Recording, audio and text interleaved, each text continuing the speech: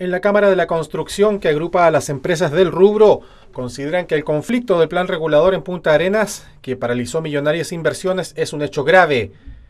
Hay una serie de permisos de edificación que otorgó la municipalidad y que fueron objetados por la Contraloría General de la República por estar en terrenos que según el plano regulador son inundables.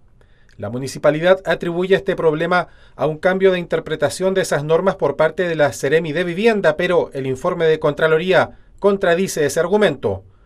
Como actores involucrados en los proyectos, entre ellos viviendas sociales, los empresarios de la construcción esperan que haya acuerdos para superar este problema. Primero, eh, resolver el tema de los proyectos y anteproyectos eh, que fueron tramitados antes del 31 de diciembre del 2019, lo cual eh, podría tener una, resolución bastante rápida